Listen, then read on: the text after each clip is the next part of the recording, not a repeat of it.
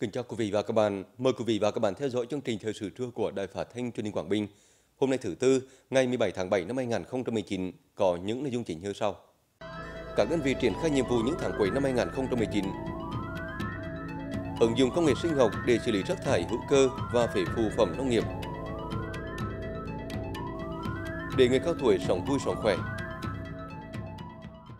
Thưa quý vị và các bạn, sáng nay ngày 17 tháng 7, Công an tỉnh Quảng Bình đã tổ chức hội nghị sơ kết công tác công an 6 tháng đầu năm, triển khai nhiệm vụ 6 tháng cuối năm 2019.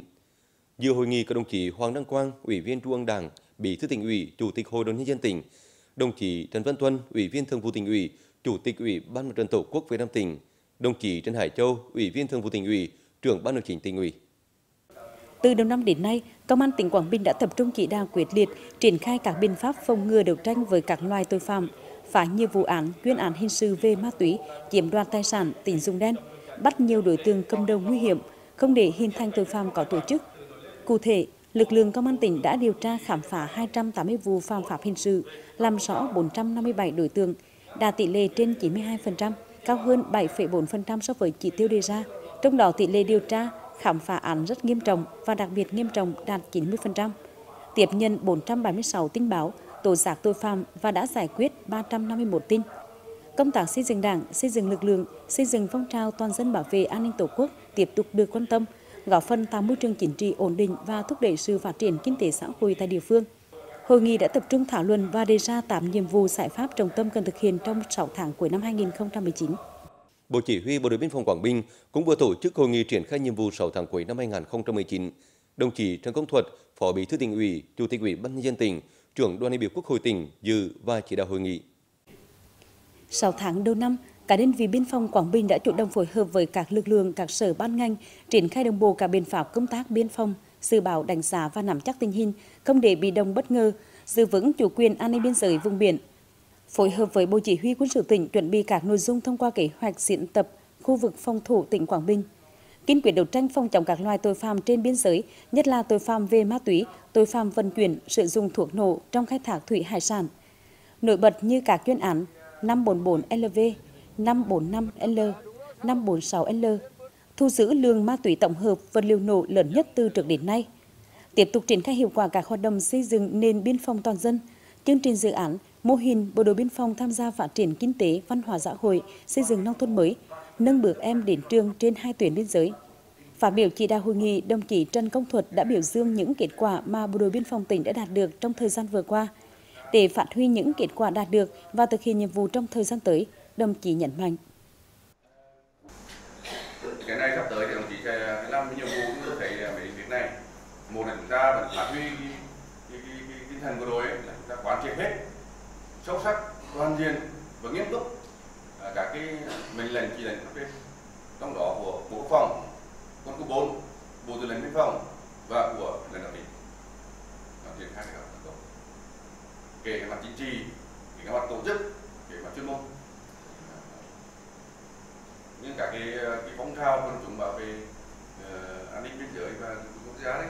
rồi là rồi đề án tám hai năm rồi các cái phân công các chỉ về giúp dân rồi là một người chiến một cả một đảng viên ba người dân chẳng hạn đấy thì làm rất tốt đấy khó lắm một cái này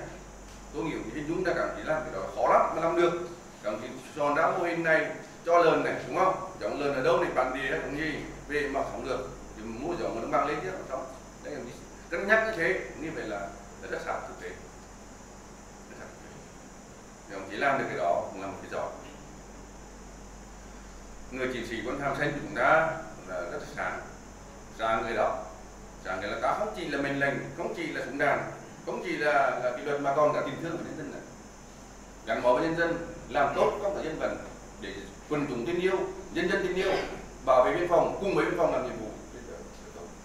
Thì năm 29 là một năm có ý nghĩa rồi sáu tháng tới là năm tốt để làm sao đó năm 2020 ta về vào đại hội đảng cả nước thân hoan thì quảng bình chúng ta dân quân uh, uh, chỉ nó công thương tất cả đều phải thân hoan cả. Triển khai các cái ờ, biện pháp quân sự quốc phòng đặc biệt là tham gia vào diễn tập. Thì diễn tập bằng quân sự biên phòng của mấy việt một là diễn tập là huy động tàu thuyền theo nghị 30 một 30 chính phủ để bảo vệ biên bờ biển. Thứ hai đến biên giới thậm chí là, là đón người có biên giới đúng không? Vượt qua biên giới. Và thứ ba là đánh nhật đánh địch xâm nhập biên giới. Mà tôi xem mấy lần biên phòng đánh địch xâm nhập biên giới rất hay. Rất thích. Kể cả phía biển cũng như phía rừng. À, vậy xem là cố gắng là làm sao là cái cái thực hành thực binh của chúng ta còn người đó người bên dưới chúng ta là những diễn thôi. Còn thực binh là phải làm tốt để thu hút được ừ, cái quan sát. Là xem cái diễn tập của của biên công cũng rất là mực đẹp rồi à, vẫn giữ nghiêm cái kỷ luật à, rồi là sau đó thì cái, cái cương để giữ là luôn luôn bên phòng mình là một cái chỗ dựa tin cậy của đảng niềm tin của đảng nhân dân kể cả các nội điểm bây giờ trong thì rồi phối hợp với lực lượng khác để làm sao đó mà ngăn chặn được cái, những cái, cái, cái việc tàu thuyền vượt biên trái phép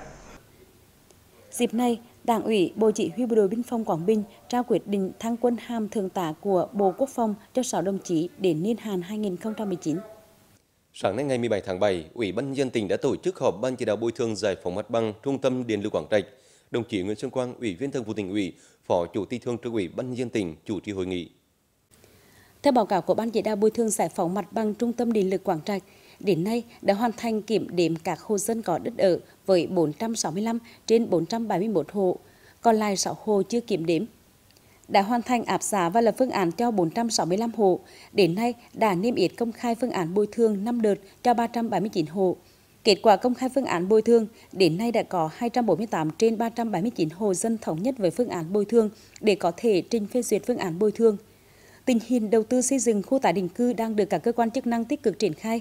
Về công tác tuyên truyền vận động, Ban chỉ đạo giải phóng mặt bằng huyện đã tích cực gặp gỡ, trao đổi, tuyên truyền vận động người dân, nên người dân cơ bản đồng tình ủng hộ việc giải phóng mặt bằng. Phối hợp và tạo điều kiện thuận lợi cho công tác trích đo, kiểm điểm tài sản và cung cấp thông tin liên quan. Tuy nhiên hiện nay, tại khu vực nhà máy nhiệt điện Quảng Trạch 1 có 3 hồ chưa đồng ý nhận tiền, 7 hồ đã nhận tiền, nhận đất tái định cư nhưng chưa bàn giao mặt bằng. Tại khu vực nhà điều hành, băng tải than còn hai hồ từ xây dựng nhà làm đường trái phép. Tại các khu vực canh thoát nước Hoan Trả, Bãi Trộn, khu phụ trợ, còn một hồ dân xây dựng nhà và một số hồ tự ý lấn chiếm đất làm hàng rào chăn nuôi và sản xuất trên đất đã giao cho chủ đầu tư. Tại hội nghị, các đại biểu đã tập trung thảo luận để thảo gỡ những khó khăn vướng mắc, đồng thời đề xuất các giải pháp nhằm triển khai thực hiện dự án trong thời gian tới. Hôm qua ngày 16 tháng 7, công ty trách nhiệm hữu hạn phát triển dự án Việt Nam đã tổ chức hội thảo ứng dụng công nghệ sinh học để xử lý rác thải hữu cơ và phế phụ phẩm nông nghiệp. Tham dự có đại diện các sở nông nghiệp và phát triển nông thôn, khoa học công nghệ, công thương, trường đại học Quảng Bình, trường cao đẳng công nông nghiệp Quảng Bình. Theo kết quả điều tra, hiện các huyện Quảng Ninh, Bố Trạch và Lệ Thủy có tổng lượng rác thải mỗi ngày khoảng 150 tấn. Riêng địa bàn thành phố Đồng Hới có lượng rác thải 150 tấn một ngày. Ngoài một số rác đã được phân loại và bán lại như kim loại, nhựa, chai lọ thủy tinh, phần lớn rác thải thuộc sang hữu cơ. Vì vậy, việc ứng dụng công nghệ sinh học trong xử lý rác thải hữu cơ và phế phụ phẩm nông nghiệp là có thể xử lý được chất thải hữu cơ thành các sản phẩm sử dụng trong nông nghiệp như phân hữu cơ sinh học hoặc khí đốt. Tại hội thảo, các đại biểu đã tập trung thảo luận về hiệu quả ứng dụng khả năng xử lý rác thải hữu cơ và phế phụ phẩm nông nghiệp để phát triển một số mô hình sản xuất rau quả sạch trồng trên giá thể hữu cơ đã được xử lý tại công ty trách nhiệm hữu hạn phát triển dự án Việt Nam. Hiện nay, công ty đã xây dựng mô hình sản xuất rau quả sạch với quy mô khoảng 3 hecta trồng dưa lưới, dâu tây, nho và các loài hoa lan, hoa hồng. Ngoài ra, còn có một vườn ươm giống mang tây diện tích khoảng 150 m2. Sau gần 2 năm triển khai, nhờ được đầu tư hệ thống nhà màng, phương pháp tưới tự động và tận dụng tối đa lợi thế từ việc ứng dụng công nghệ sinh học trong xử lý rác, nên mô hình sản xuất rau quả sạch của công ty đã được chứng nhận đạt tiêu chuẩn Việt Gáp cho hiệu quả kinh tế cao. Cũng trong ngày hôm qua, Trung ương Đoàn Thanh niên Cộng sản Hồ Chí Minh phối hợp với tỉnh đoàn Quảng Bình đã tổ chức hội nghị giải pháp phát triển sản xuất theo chuỗi giá trị, gắn sản xuất với tiêu thụ sản phẩm cho thành viên các tổ hợp tác, hợp tác xã thanh niên khu vực Bắc Trung Bộ và cán bộ đoàn cùng Duyên Hải Nam Trung Bộ. Tại hội nghị, hơn 100 đoàn viên thanh niên là chủ các mô hình thanh niên phát triển kinh tế hợp tác xã, tổ hợp tác khu vực Bắc Trung Bộ và các cán bộ đoàn cùng Duyên Hải Nam Trung Bộ đã được nghe các chuyên gia tư vấn giới thiệu về hai chuyên đề từ chương trình phát triển kinh tế vùng nông thôn gắn với điều kiện tự nhiên, văn hóa của từng địa phương. Mỗi làng xã một sản phẩm, mỗi xã một sản phẩm được viết tắt là OCOP đến khởi nghiệp của thanh niên trong sản phẩm OCOP khởi nghiệp thông qua phân tích chuỗi giá trị sản phẩm, xúc tiến thương mại, giới thiệu các mô hình liên kết phát triển kinh tế tiêu biểu thực hiện theo chuỗi giá trị. Ngoài ra, các học viên còn được tham gia thảo luận về tìm kiếm cơ hội khởi nghiệp, giải đáp những khó khăn trong quá trình lập thân lập nghiệp. Với những kiến thức được tiếp thu tại hội nghị sẽ góp phần giúp cho các học viên có những kiến thức quan trọng, bổ ích, từ đó vận dụng vào thực tiễn, giải pháp cho việc quảng bá sản phẩm, xây dựng nhãn hiệu, thương hiệu sản phẩm hay lập kế hoạch kinh doanh, góp phần đẩy mạnh phong trào lập thân lập nghiệp, tham gia phát triển kinh tế xã hội. Cũng tại hội nghị, nhiều sản phẩm từ phong trào khởi nghiệp của thanh niên Quảng Bình cũng được trưng bày, tạo ấn tượng cho các học viên trong quá trình học tập trao đổi kinh nghiệm. Chương trình sẽ được tiếp nối với những thông tin đáng quan tâm khác. Hôm qua ngày 16 tháng 7, lãnh đạo huyện Bố Trạch đã đến thăm hỏi động viên và trao số tiền hỗ trợ cho gia đình anh Hoàng Văn Đoàn ở thôn Hà Lời, xã Sơn Trạch có nhà bị cháy. Vào khoảng 14 giờ ngày 15 tháng 7, sau khi nghe tiếng nổ lớn, gia đình anh Đoàn phát hiện ngọn lửa cháy từ trong nhà. Dù được người dân gần đó đến giúp đỡ, nhưng do trời nắng nóng kèm theo gió to nên ngọn lửa nhanh chóng bao trùm và thiêu rụi mọi thứ. Nguyên nhân được xác định là do chập điện. Gia đình anh Đoàn thuộc diện Hồ Cần Nghèo, bốn người con đang trong độ tuổi đến trường. Ngay khi nắm được thông tin, lãnh đạo huyện Bố Trạch đã đến động viên và hỗ trợ 5 triệu đồng cùng 50 kg gạo cho gia đình anh Hoàng Văn Đoàn. Ngoài ra, cả đơn vị tổ chức cũng đã hỗ trợ gia đình anh số tiền trên 30 triệu đồng. Ủy ban nhân dân tỉnh Quảng Bình vừa ban hành kế hoạch số 1115 về việc thu thập, lưu trữ, tổng hợp thông tin thị trường lao động năm 2019 trên địa bàn tỉnh Quảng Bình. Ủy ban nhân dân tỉnh yêu cầu các ngành liên quan tiến hành thu thập thông tin dưới hình thức ghi chép và cập nhật vào sổ ghi chép thông tin cung cầu lao động, xác định đúng thống kê đầy đủ kịp thời số người ngoài độ tuổi lao động, số người trong độ tuổi lao động và biến động về lao động, tình trạng việc làm, thất nghiệp trong các hộ gia đình, tăng giảm lao động theo trình độ và lĩnh vực giáo dục đào tạo trong doanh nghiệp tổ chức. Việc thu thập thông tin thị trường lao động nhằm xác định thông tin cơ bản chính xác về thực trạng cung cầu lao động để làm cơ sở hoạch định chính sách, xây dựng kế hoạch phát triển kinh tế xã hội, nguồn nhân lực, hướng nghiệp, đào tạo nghề gắn với tạo việc làm của địa phương. Nhằm giúp cho bà con nhân dân tăng gia phát triển kinh tế, trong những năm qua, xã Hỏa Sơn, huyện Minh Hóa đã vận động, tuyên truyền và tổ chức cho bà con tham gia các lớp tập huấn nhằm nâng cao kiến thức, áp dụng tốt các tiến bộ khoa học kỹ thuật vào sản xuất. Nhờ đó, nhiều hộ gia đình đã vươn lên thoát nghèo. Ông Cao Xuân Thanh ở bản Hỏa Lương trước đây thuộc diện hồ nghèo của xã. Năm 2017, bằng nguồn vốn hỗ trợ từ các chương trình 30A, 135, ông đã đầu tư nuôi nhím. Được tập huấn khoa học kỹ thuật về nuôi nhím nên ông Thanh đã hạn chế được những rủi ro lúc ban đầu. Từ một cặp nhím lúc mới nuôi, đến nay ông đã có 4 cặp nhím trong chuông. Năm 2019, ông đã cho xuất chuông lửa đầu tiên với số tiền 12 triệu đồng. Khi việc nuôi nhím bước đầu ổn định, ông đã mạnh dạn trồng thêm gần 30 gốc ổi lai mỗi năm cho hai vụ thu hoạch. Từ mô hình này, mỗi năm trừ mọi chi phí, ông Thành thu lại hơn 30 triệu đồng. Đến nay, hồ của ông đã thoát nghèo và trở thành tấm gương cho người dân trong vùng học tập. Được biết, trong thời gian qua, chính quyền xã Hòa Sơn đã có những chính sách nhằm tạo điều kiện cho người dân tiếp cận với nguồn vốn vay ưu đãi để mở rộng sản xuất. Qua đó, tạo động lực để các hộ nghèo có điều kiện sản xuất vươn lên thoát nghèo. Từ chỗ tỷ lệ hộ nghèo trên 50% năm 2015, đến nay Hòa Sơn đã giảm xuống còn 33,4% theo chuẩn mới và được đánh giá là một trong những đơn vị có tỷ lệ giảm nghèo nhanh của huyện Minh Hóa. Nằm trong chuỗi các hoạt động chào mừng kỷ niệm 30 năm ngày tái lập tỉnh và 70 năm ngày Quảng Bình quật khởi, vừa qua phường Bắc Lý thành phố Đồng Hới đã tổ chức hội trại. Hội trại được tổ chức là dịp để người dân địa phương qua các thế hệ giao lưu, thắt chặt tình đoàn kết, khơi dậy truyền thống cách mạng của quê hương, qua đó động viên các tầng lớp nhân dân thi đua học tập, lao động sản xuất, tích cực thực hiện các phong trào thi đua yêu nước, góp phần xây dựng thành phố Đồng Hới nói chung, phường Bắc Lý nói riêng giàu đẹp, văn minh. Thưa quý vị và các bạn, những năm gần đây, phong trào văn hóa văn nghệ, luyện tập thể dục thể thao ở người cao tuổi phát triển rộng khắp ở tất cả các địa phương trong tỉnh, trở thành sân chơi bổ ích lý thú, giúp người cao tuổi rèn luyện sức khỏe, nâng cao đời sống tinh thần và gắn bó tình đoàn kết. Thành lập vào năm 2013, đến nay câu lạc bộ những người yêu thơ thị trấn Đồng Lê, huyện Tuyên Hóa có 15 thành viên cùng tham gia sinh hoạt. Câu lạc bộ là nơi để những người cao tuổi bộc bạch tiếng lòng của mình qua những vần thơ và cũng là nơi để các cụ chia sẻ với nhau những tâm tư, tình cảm trong cuộc sống. Câu lạc bộ đã ra mắt công chúng tập thơ Vầng Trăng Khuyết và sắp tới sẽ là tập thơ Đồng Lê Yêu Thương. Ngoài ra còn có hàng trăm bài thơ đã được các hội viên sáng tác và đọc cho nhau nghe trong các buổi sinh hoạt. Được sinh hoạt trong câu lạc bộ thơ là một cái sân chơi mà rất phù hợp với à, tất cả các đối tượng, đặc biệt là tuổi già, tuổi nghỉ hưu. Cho nên à, từ khi tôi được tham gia với à, câu lạc bộ thơ thị trấn thì có một cái niềm vui lớn. Một là cùng buộc mình phải có trách nhiệm suy nghĩ để viết bài để cùng với anh em góp phố cái tiếng nói của cái câu lạc bộ thơ một cái thứ hai là được giao lưu trực tiếp gặp gỡ anh em bạn bè để tâm sự ngoài cái chuyện thơ thì còn có tâm sự việc đời việc này khác để nó cũng giải tỏa được tư tưởng. Và cái thứ ba là cũng thấy có cái ý nghĩa bởi vì đấy là một cái sinh hoạt văn hóa lành mạnh. Được thành lập năm 2015 câu lạc bộ cầu lông tổ dân phố 4 là nơi sinh hoạt của 20 thành viên người cao tuổi.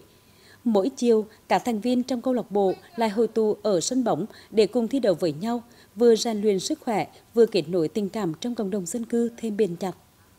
Hiện nay, thị trấn Đồng Lê đã phát triển được 7 câu lạc bộ cầu lông tại 7 chi hội người cao tuổi, thu hút trên 60 thành viên tham gia luyện tập.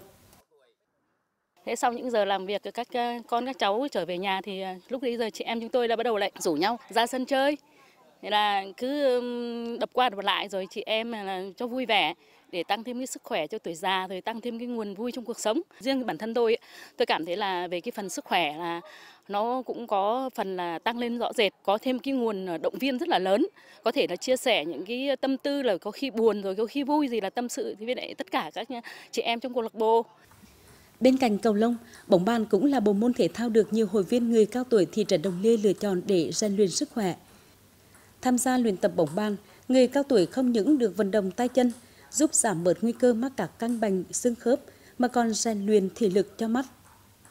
Các bộ môn thể dục thể thao phù hợp với người cao tuổi như bóng bàn, cầu lông, bóng chuyền hơi đã tập hợp được số lượng lớn hội viên tham gia, mang lại niềm vui, tinh thần lạc quan cho người cao tuổi.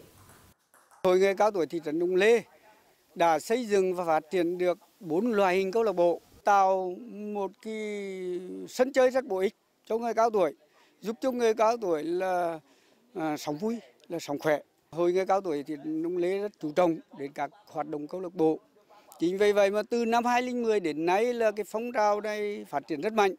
và được ủy ban nhân dân thị trấn ủy ban huyện ban đại diện hội người cao tuổi tỉnh và trung ương hội là tặng là nhiều giấy khen và bằng khen cho cái hội người cao tuổi à, của thị trấn. Nhằm nhân rộng phong trào văn hóa văn nghệ luyện tập thể dục thể thao cho hội viên Thời gian tới, Hội người cao tuổi thị trấn Đồng Lê tiếp tục chỉ đạo các chi hội người cao tuổi tổ dân phố tích cực vận động, thu hút thêm nhiều hội viên tham gia các câu lạc bộ và thành lập thêm các câu lạc bộ mới, giúp người cao tuổi có sân chơi để rèn luyện sức khỏe và nâng cao đời sống tinh thần. Tháng 7 này, khám phá những bí ẩn chưa từng hé lộ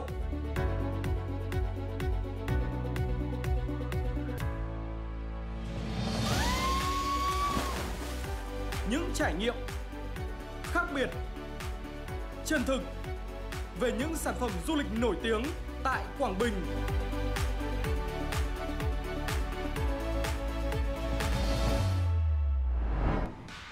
Cùng với không gian nghệ thuật,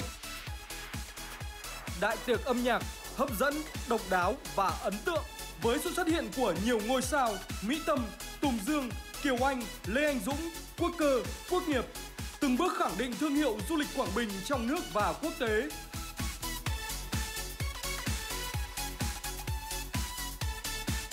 Lễ hội hang động Quảng Bình năm 2019 Quảng Bình, bí ẩn, bất tận, ngày 20 tháng 7 năm 2019 truyền hình trực tiếp trên kênh VTV1